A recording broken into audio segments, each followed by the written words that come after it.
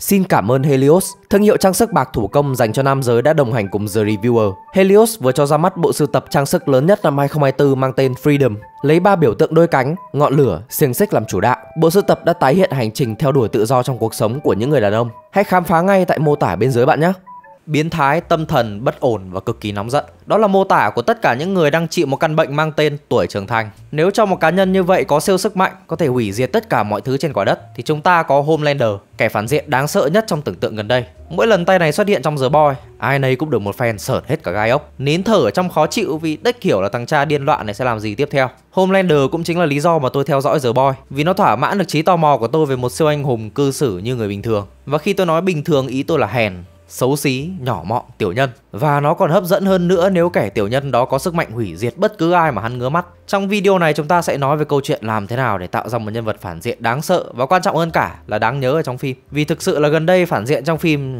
chả mấy ai ấn tượng. Thậm chí phản diện thực sự đôi khi lại là đạo diễn hoặc là công ty chủ quản chứ không phải là cái ông xuất hiện với lý do sáo rỗng và bị siêu anh hùng đánh bại một cách nhảm nhí. Trước tiên hãy nói về các kiểu nhân vật phản diện đi. Trong video này tôi sẽ chọn tiêu chí là phản diện mạnh như nào. Kiểu phản diện thứ nhất là phản diện và anh hùng mạnh ngang nhau. Một ông là Superman còn ông còn lại là Goku. Ví dụ trong phim thì chúng ta có Captain America và Bucky trong The Winter Soldier. Hai người này tầm sức mạnh thì ngang nhau và kiểu gì đánh nhau cũng sẽ có một ông thắng. Người xem phim này sẽ không thể kỳ vọng gì nhiều mà chủ yếu là xem đánh nhau thôi. Điều đó sẽ làm phản diện bớt tính đáng sợ hơn vì kiểu ơ mày cũng mạnh ấy, nhưng mà mày nhìn tên ai đứng trước trong tiêu đề phim không? Và thường là người anh hùng sẽ chiến thắng nhờ một lý do nào đó. Thế nên là chúng ta có kiểu thứ hai, kiểu phản diện mạnh hơn hẳn nhân vật chính như Homelander hay là Omni-Man, có thể đấm hết tất cả mọi người trong phim. Hoặc ít bạo lực hơn thì ông sĩ quan chỉ huy người Đức với ông nông dân bất lực trong Inglorious Bastards. Winter Soldier sẽ không đáng sợ bằng tay đại tá này vì hắn mạnh một cách áp đảo so với nhân vật chính và có thể hoàn toàn định đoạt số phận của nhân vật chính. Hắn mạnh đến mức mà không ai kỳ vọng một cuộc đấu tay đôi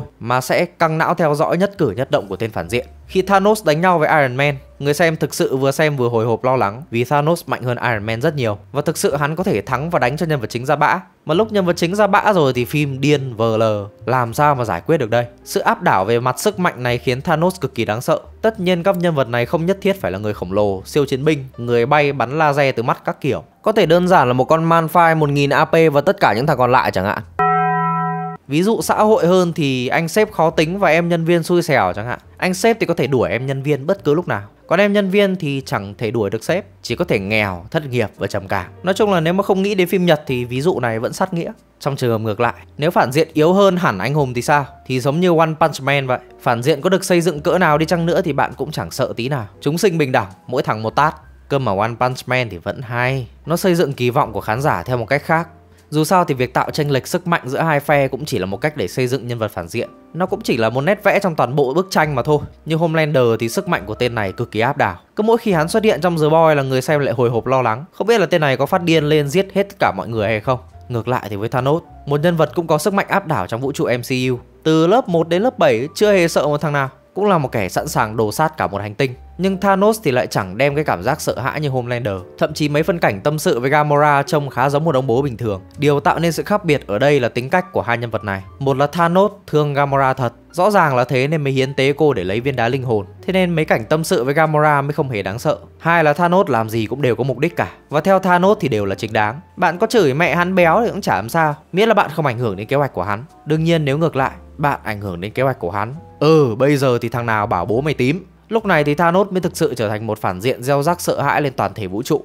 Được rồi, đến giờ thì đã có hai tiêu chí để tạo ra một nhân vật phản diện. Một là tranh lệch sức mạnh, hai là một động cơ để đấm thằng khác. Như thế thì đã đủ chưa? Chắc chắn là chưa. Tiêu chí thứ ba chính là quá khứ của kẻ phản diện. Well, bạn sẽ không sợ Hitler nếu chỉ biết đấy là một thằng trượt học viện mỹ thuật. Thế thì Đức Quốc xã nghe cũng chẳng có gì lắm. Đa số phim hoạt hình dành cho trẻ em đều gặp phải vấn đề như này. Ví dụ như Wish, báu vật kỷ niệm 100 năm của Disney đi.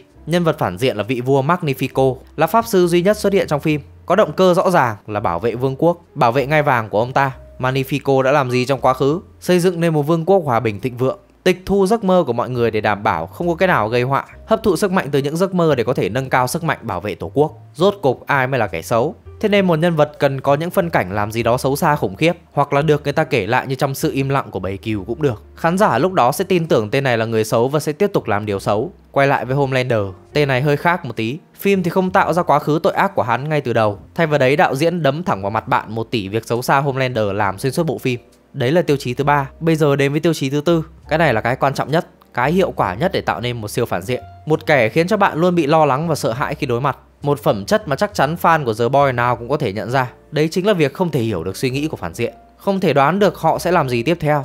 Kiểu không ngờ gặp phải thằng Liều. Đấy chính xác là thương hiệu của Homelander.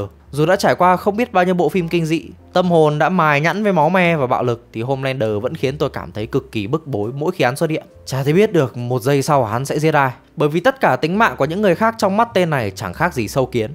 Thậm chí đa số siêu anh hùng thì cũng chỉ một hit với tên này mà thôi. Như siêu anh hùng mù này, tôi quên sừ tên anh rồi, nên thôi cứ gọi thế nhá. Anh này đang vui mừng các thứ vì được gia nhập The Seven. Lại còn được gặp idol Homelander. Homelander cười nói đáp lại. Rồi đột nhiên vỗ bóp cái vào tai anh mù. Thế là chết queo. Đố ông nào xem phim mà lường trước được cảnh đấy. Nếu mà Homelander có biểu hiện kỳ thị người khuyết tật trước đấy Một tí tị thôi Không mua tâm từ thiện chẳng hạn Thì may ra ông nào tâm lý biến thái còn đoán ra được. Đây thì đúng kiểu là méo thể nào lường trước được đây là một trong những cảnh xây dựng nên sự khó đoán của Homelander. Trông như hắn giết người vô tội mà không có một lý do gì hết. Cơ mà như thế thì không giống với tiêu chí thứ hai Có động cơ làm điều ác. Quay lại với cảnh ban nãy Thật ra Homelander có động cơ thật. Thật ra thì hắn ghét và coi thường tất cả những ai yếu hơn hắn Có nghĩa là tất cả mọi người. Cơ mà với những trường hợp bình thường thì không sao.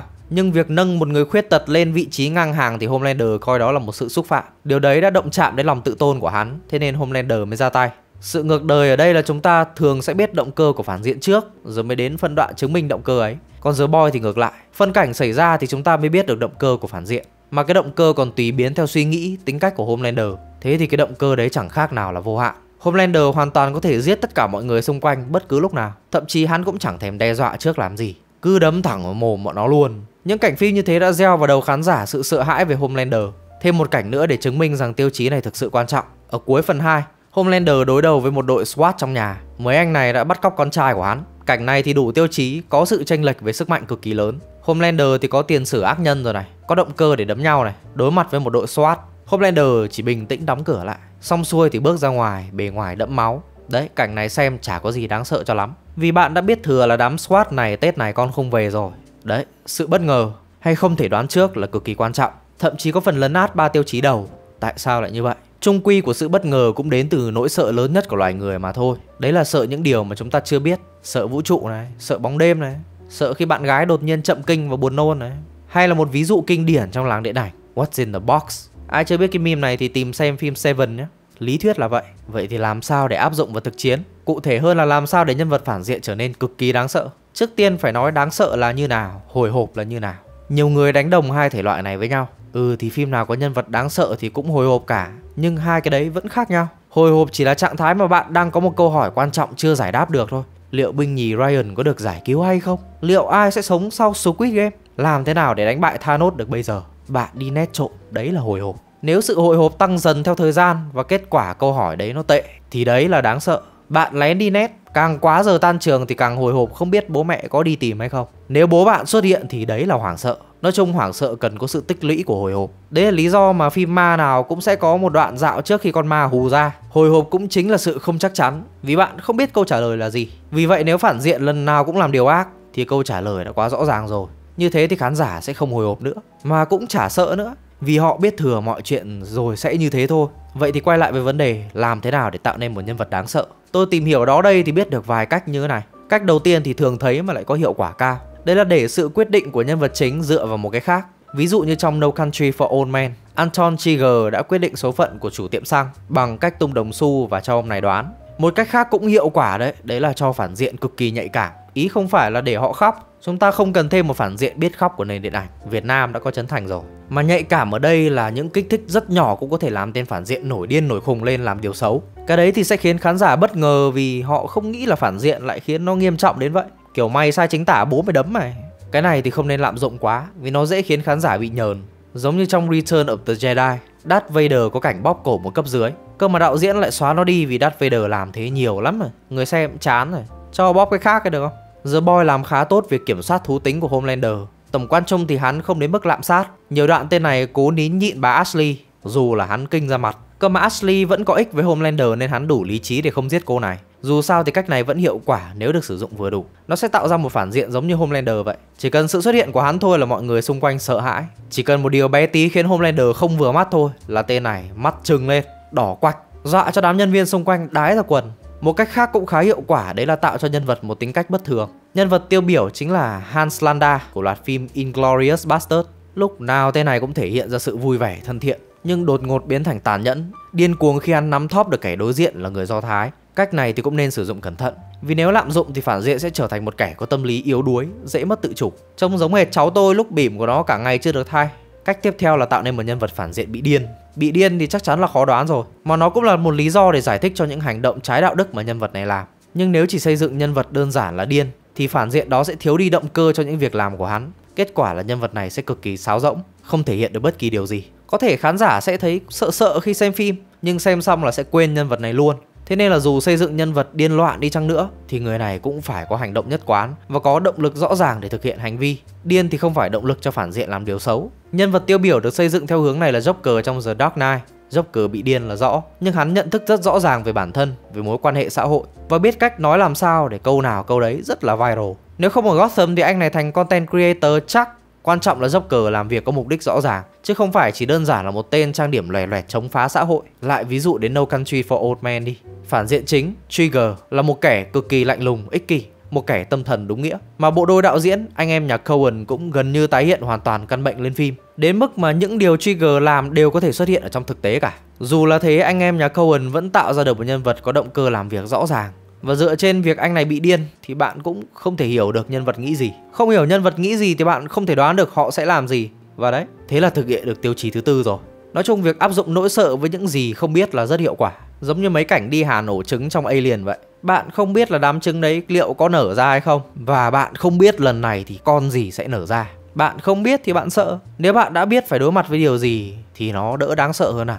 Nhìn Pennywise mà xem. Tên hề này đầu phim đáng sợ vai vì không ai biết hắn là ai. Không biết sức mạnh của hắn là gì. Không biết hắn có thể tỏi ra từ cái cống nào. Nhưng đến cuối khi bị phát hiện ra thì Pennywise bị một đám nhóc hành cho lên bờ xuống ruộng. Tôi nhắc lại là một nhân vật đáng sợ là một nhân vật không thể đoán trước được. Quay lại với Homelander.